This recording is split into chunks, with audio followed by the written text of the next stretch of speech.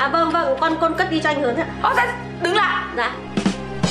Thế tự nhiên lại lôi cái cái ba lô của nó ra xong lại cất đi là như thế nào Cái gì Mẹ ơi, Hả con đang nghi ngờ là anh quỷ đen. Anh giấu con. Thằng hớn cũng quý đen á Vâng ạ. Thôi. Con nhìn thấy anh ấy nhá, rõ ràng là cầm một cái phong bì tiền. Con tính là có khi phải đến chục triệu đấy.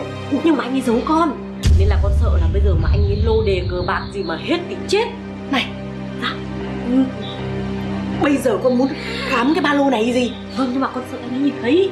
Đâu đâu Trong nhà lắm. Yên tâm đi mày khám đi để để để để mẹ canh chừng Để mẹ Thế thế mẹ mẹ lộ con nhé. để để để canh cho khám đi khám đi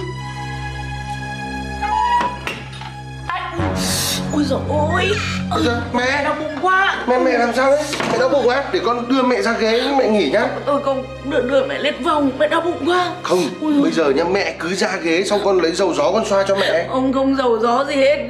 Đưa đưa mẹ lên dạ. vòng đi. Ây ơi ôi. Vâng vâng vâng. Này.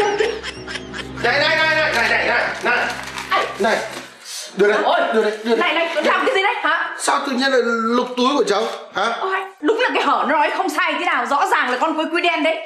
Hóa ra là mẹ với cả vợ thông đồng đúng không? Mẹ ở trong kia mẹ cản con để cho vợ con lục túi của con đúng không? Thế nhưng mà anh không có quỹ đen thì việc gì em với mẹ phải làm như thế? đã đến nước này thì con nói thật luôn. Thế con nói đi. Tiền của tất cả bọn con ủng hộ cho thằng Doãn Tuấn Minh. Thằng bạn ngày xưa mà học cùng cấp 3 với bọn con đấy bây giờ nó phải đi làm shipper để mưu sinh qua ngày đấy. Với cả nhá vợ của nó bây giờ đang bị thận. Trong nhà có bao nhiêu đồ đạc cầm cố được rồi bán được nó đều bán hết rồi. Cho nên hoàn cảnh của nó rất là khó khăn. Bọn con với chung tay với nhau lại góp được một số tiền ít ỏi này để đưa cho nó để giúp nó. À có phải là cái thằng doãn tuấn minh là bạn học của con ngày xưa mà nó vẫn hay đến nhà mình không? Hồi cấp 3 đấy à? Mẹ ạ, Bọn con định đưa tiền cho nó Bảo là họp lớp nó đến Nhưng mà tính thằng này hơi bị tự ái ấy, Cho nên là nó không đến Bảo bao nhiêu lần rồi Không tìm cách nào đưa được cho nó Thế cho nên là Bọn nó nhờ con ạ Tự ái mà là tự ti. Bây giờ người ta có hoàn cảnh như thế. Bảo bây giờ tự dưng đi đến họp lớp tiền thì không có xong lại để cho anh em quyên góp cho mình cũng ngại đúng không? Người ta mặt mũi nào mà đến đấy nữa. Người thế là ý nhị đấy. này con này mẹ bảo này cái thằng doãn tuấn minh ngày xưa ấy nó hay đến nhà mình ấy mẹ cũng quý nó mẹ gửi cho một triệu xong là con đưa tận tay nó Đấy. nói là mẹ mẹ giúp À, này, Được rồi, anh đợi tí em chạy lên phòng lấy tiền. Em cũng muốn quyên góp cho nó một tí nhá. được rồi Vợ góp bao nhiêu Vợ cũng có một triệu. Được rồi, tí chồng đưa cho nhá Nhưng mà từ sau bỏ kiểu đấy đi Có gì phải hỏi luôn chứ Rồi, biết rồi. Lần sau có gì sẽ hỏi chưa? Ừ, thôi, con đi làm đi mẹ Này, ông có chắc hôm nay Minh nó sẽ đến không? chắc chắn là nó đến mà nó làm shipper tôi đã đặt hàng rồi kiểu gì nó cũng phải đến đây ông hiểu không Anh nhờ em đặt ship ấy, họ đến rồi đấy. thì ờ, gọi cho người ta vào đi đây, đây. Vâng vâng, cái quán ở phía tay phải anh. Vâng vâng anh đi vào đi ạ. Vâng đây, đây, Này, đây. từ từ từ từ từ anh nhá cái số tiền này em nhét vào lợn cho anh Được. nhớ ấy Anh shipper đúng không nhỉ? Ừ, anh Vâng, cho xem ạ. đơn của em không đồng À, không phải em đặt đâu.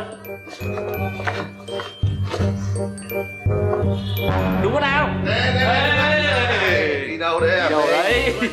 Lâu lắm gặp ông bạn đấy. này nhá họp lớp gọi cũng không được hẹn riêng ra gặp cũng không được này thế bây giờ ông lại lảng tránh bọn tôi đúng không Thực ra tôi bận quá Bận cái gì thì bận. Hôm nay đã đến đây ấy, anh em phải ngồi hàn huyên một tí. Bọn tôi là nhớ ông lắm đấy. Đi, đi vào kia. Này, ơi, anh em mình là bạn với nhau. Có khó khăn gì cứ gọi bọn tôi nhá, đừng có ngại. Thái ơi, anh bảo đây. Đây này, Đây. cái con lợn này ấy là đây là cái cách mà để tôi gặp ông thôi. Thế cho nên thôi, ông cầm về cho các cháu nó chơi. Bọn tôi lớn rồi còn chơi lợn đất làm cái gì? Cứ coi như đây là quà bọn tôi tặng cho các cháu nhá. Tôi thay mặt cháu cảm ơn hai ông nhé Ờ, ơn huệ gì anh em với nhau mà thế thôi nhá bọn tôi có công việc bọn tôi phải chạy về trước nhá à này đi Đi, đi đi, đi, đi. nhá không một lỡ hết việc nhá Đi. có Ờ, gì ngồi về nhá. sau nhá ừ, cà phê tôi giải hết rồi đấy nhá ừ. Em biết rồi. Gì cơ? Ôi. Ôi ạ Anh ơi em xin lỗi ạ. Hớn à Ông đưa nhầm con lợn cho tôi rồi. Đấy là tấm lòng của tôi và bạn bè trong lớp và vài người quen biết ông. Mọi người biết ông đang khó khăn